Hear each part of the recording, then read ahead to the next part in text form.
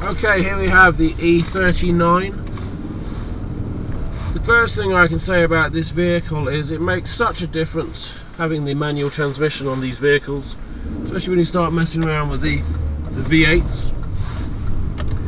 Particularly in the low range, so they're a lot quicker off the mark than the automatic, which is standard. I think the 0 to 60 on these cars is a second either way with the manual and the automatic. The automatics, they come into power around mid-range. Once you're doing 50, 60, 70, 80 miles an hour, that's when the power delivery comes with the automatic. So if you're after one of these and you you want something that accelerates quickly, then stick with the manual. But if you want something more for the the autobahn driving, the motorway driving, then you want to stick with the automatics because that's where the power comes in. Now, one good thing about these cars is when you stick it in reverse, the near side mirror will drop down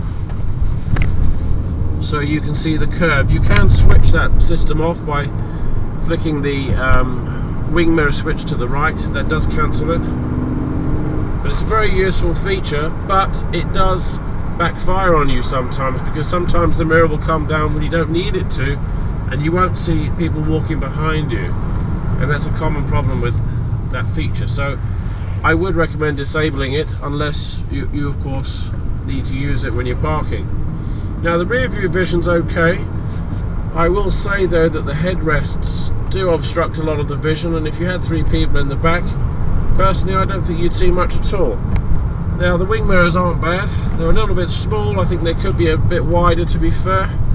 I don't really think it's going to sacrifice that much of the aerodynamics to have larger mirrors.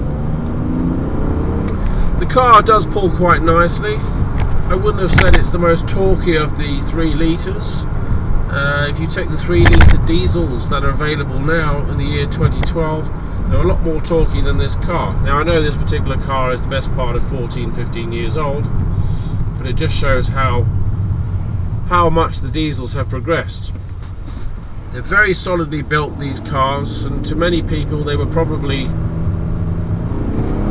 probably the last of the good looking BMW 5 Series because they certainly turn into ugly computers at the moment.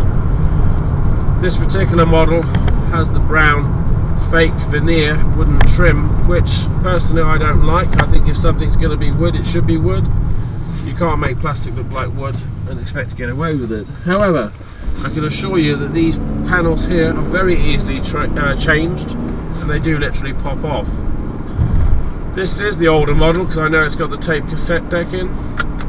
That system can be changed. You can pull that out and put a sat nav monitor in or you can actually put a regular stereo in so don't let that put you off. You also have the CD version as well. The uh, CDs are in the back with the amplifier the instrument cluster on these is very clear, very precise. It's the standard BMW which seems to come through many models. It's not obstructed by the steering wheel, however, on a lot of these models you have electric adjustment for the steering, not with this particular car. Going back to this center console, Going back to this center console, the stereo in this one the unit that you can replace with the sat nav etc I'm pretty sure it's the same as the X5 so that opens up a lot more broadens your horizons if you want to update that system now you've got your heating controls down here. It's not the turn dial type it's the button type. And uh, on some particular models you'll have the traction control down here. You don't with this model. Now one feature of this car it's a small feature which is a negative is the cup holders down here. They're very fragile very common for those to break. So be aware of that if it's going to be an issue for you. This is the 5 speed manual. It wouldn't hurt to see a 6th gear on this car to be fair especially if you are a motorway driver now sometimes the steering on the E39s can be a bit vague there can be a bit of movement there but this one's very taut and I really do feel like I'm connecting with the road and not the power steering there's no none of that anesthetized feeling that you get from the power steering. It's It really does feel like a driver's car this. Very comfortable, great driving position.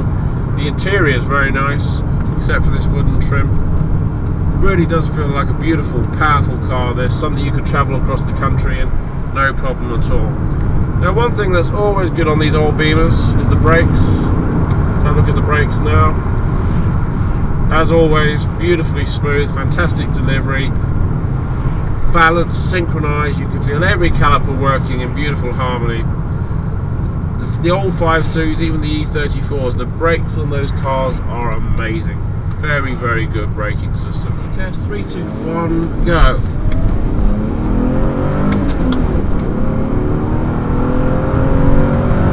60.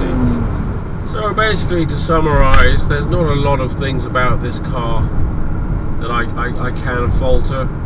I believe in the older models um, there was some problems with the ABS etc etc um, but to be fair these are great cars. You're going to be able to pick these up for next to nothing. The 535 is a great model. The 540 is a great model. Obviously a very thirsty car but powerful. They go like steak and they're great to drive. These are drivers.